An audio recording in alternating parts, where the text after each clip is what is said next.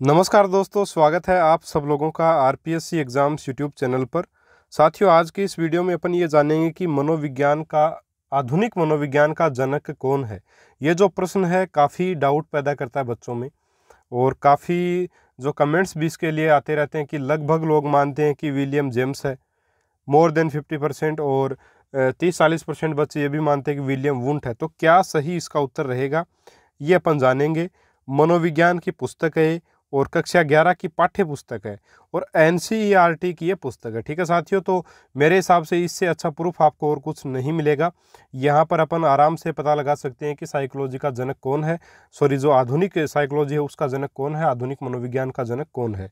वैसे मैं आपको बता दूँ कि जो आपके धीर सिंह दाभाई जी सर हैं उनके अनुसार कौन है? विलियम वुंट है। उनकी पुस्तक में ज़रूर क्या लिखा हुआ है? विलियम जेम्स लिखा हुआ है, लेकिन उन्होंने खुद जो बताया वो विलियम वुंट को उन्होंने बताया।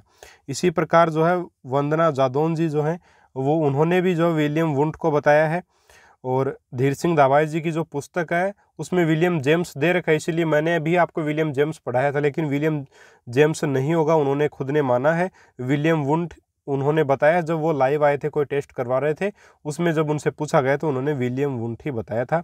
तो साथियों, इसका जो सही उत्तर क्या होगा कौन होगा, जनक, ये अपन इस पुस्तक में देखेंगे। तो चलिए शुरू कर लेते हैं, साथियों, और मनोविज्ञान की ग्यारहवीं क्लास की जो पुस्तक है, देख सकते हैं आप, यहाँ पे लिखा हुआ national council of educational research and training, यानी एन का ये प्रकाशन है, और इसमें ग्यारहवीं क्लास के लिए पुस्तक है, एन की। तो इसमें देखेंगे, साथियों, अपन प्रस्तावना आ गई। और जो पहला ही इसमें पाठ है ना उसी में ये दिया हुआ है। आ, हाँ विषय सूची देखिए मनोविज्ञान क्या है? पहला अध्याय ये है। इसी अध्याय में शायद आठवें पेज पर इस चीज़ के बारे में वर्णन दिया गया है। तो चार नंबर का पेज आ गया और ये देखिए ये आपका छः नंबर पेज इसके बाद आपका आठ नंबर पेज ये बिल्कुल देखिए आठ नंबर का पेज आ गया। यहाँ पे देखिए मनोविज्ञान का विकास। अब देखिए साथियों इसको अपन थोड़ा सा जूम कर लेते हैं। और ध्यान से देखते हैं, क्या लिखा हुआ है। यहाँ पे लिखा हुआ कि आधुनिक विधाशाला शाखा के रूप में मनोविज्ञान, जो पाश्चात्य विकास से एक बड़ी सीमा तक प्रभावित है, का इतिहास बहुत छोटा है। इसका उद्भव मनोवैज्ञानिक सार्थकता के प्रश्नों से संबंध प्राचीन दर्शन शास्त्र से हुआ है। यह अपन सब पढ़ चुके हैं। हमने उल्लेख किया है कि आधुनिक मनोविज्ञान का औपचारिक प्रारंभ, ये यहाँ से इम्पोर्टेंट लाइन है। आधुनिक मनोविज्ञान का औपचारिक प्रारंभ 1879 से हुआ, जब विलियम वुंट ने लिपजिंग जर्मनी में मनोविज्ञान की प्रथम प्रायोगिक प्रयोगशाला को स्थापित किया। इसलिए इन्हें प्रायोगिक मनोविज्ञान का जनक भी विलियम वुंट को माना जाता है और साथियों, आधुनिक मनोविज्ञान का जनक भी विलियम वुंट को इसलिए माना जाता है क्योंकि जो आधुनिक मनोविज्ञान है, उसका औपचारिक प्रारंभ कहाँ से हुआ? जब उन्होंने क्या किया? विलहम वुंट ने जब लिपजिंग नामक नगर में, जर्मनी में जो कि है वहाँ पे प्रयोगशाला स्थापित की मनोविज्ञान की, प्रथम प्रयोगशाला। तब से इसका औपचारिक प्रारंभ माना जाता है आधुनिक मनोविज्ञान का। इसलिए आधुनिक मनोविज्ञान का जनक जो है, वो साथियों कौन होगा? विलियम वुंट होगा।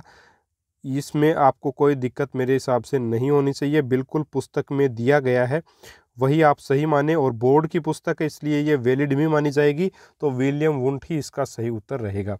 चलिए, इतने में अगर आप नहीं मानते हैं तो चलिए आगे भी लिखा हुआ देखिए। इसके बाद में देखिए, आगे लिखा हुआ कि एक अमेरिकी, यहाँ से देखिए, एक अमेरिकी मनोवैज्ञानिक विलियम जेम्स, जिन्होंने कैम्ब्रिज, मसाचुसेट्स में एक प्रयोगशाला की स्थापना, लिपजिंग की प्रयोगशाला के कुछ ही समय बाद की थी, ने मानव मन के अध्ययन के लिए प्रकार्यवाद उपागम का विकास किया। विलियम जेम्स का विश्वास था कि मानस की संरचना पर ध्यान देने के बजाय मनोविज्ञान को इस बात पर अध्ययन करना चाहिए कि मन क्या है। ठीक है तो ये तो आगे की सारी चीज़ें हैं। तो अपन ये जानते हैं, यहाँ से अपन ये बिल्कुल समझ सकते हैं कि जो आपके जो विलियम जेम्स हैं, उन्हें अमेरिका में आधुनिक मनोविज्ञान का जनक माना जाता है। लेकिन अगर अपने प्रश्न आए कि आधुनिक मनोविज्ञान का जन्मदाता कौन है तो वो आप लगाइएगा विलियम वुंट ठीक है? क्योंकि उन्होंने जो प्रयोगशाला स्थापित की थी मनोविज्ञान की, वो जो है पहले स्थापित कर दी और उसके कुछ समय बाद जो विलियम जेम्स ने कैम कैम्ब्रिज विश्वविद्यालय जो उसके मसाचुसेट्स में एक प्रयोगशाला स्थापित की थी जो कि लिपजिंग की प्रयोगशाला के बाद में स्थापित की उन्होंने। तो विलियम जेम्स को अमेरिका में माना जाएगा और विलियम वुंट को जो है वो एक प्रकार से पूरे विश्व में अपर पटल पर देखें तो आधुनिक मनोविज्ञान का जो जन्मदाता है वो विलियम वुंट को ही माना जाएगा। विलहम वुंट इनका सही नाम है, जो कि अपन सब लोग विलियम वुंट पढ़ते हैं तो कोई ज़्यादा फ़र्क नहीं है। विलहम वुंट इनका बिल्कुल सही नाम रहेगा, ठीक है साथियों?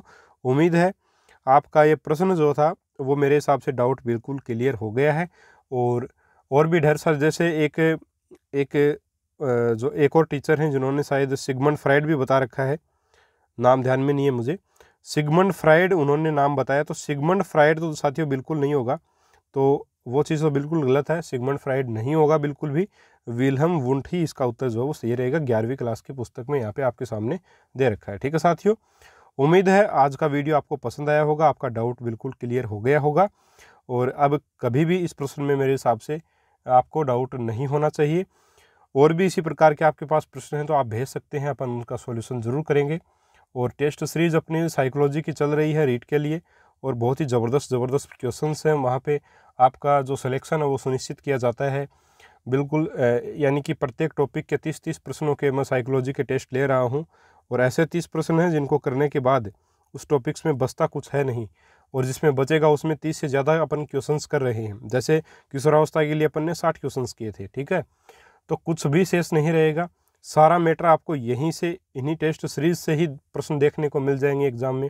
तो बिल्कुल आप टेस्ट सीरीज़ को ज्वाइन करें, आपको बहुत बेनिफिट मिलेगा इससे। और मिलेंगे साथियों अपन अगले वीडियो में इसी प्रकार के अन्य डाउट्स को क्लियर करने के लिए और टेस्ट सीरीज़ के साथ। तब तक के लिए जय हिंद, जय भारत, नमस्कार। अगर साथियों आपको वीडियो पसंद आए तो ज़रूर लाइक करें। और इसके अलावा अगर आप चैनल को सब्सक्राइब भी करते हैं तो बहुत अच्छी बात है। नए हैं चैनल पे सब्सक्राइब भी ज़रूर करें ठीक है? मिलेंगे अगले वीडियो में पर नए टॉपिक के साथ, तब तक के लिए जय हिंद, जय भारत, नमस्कार।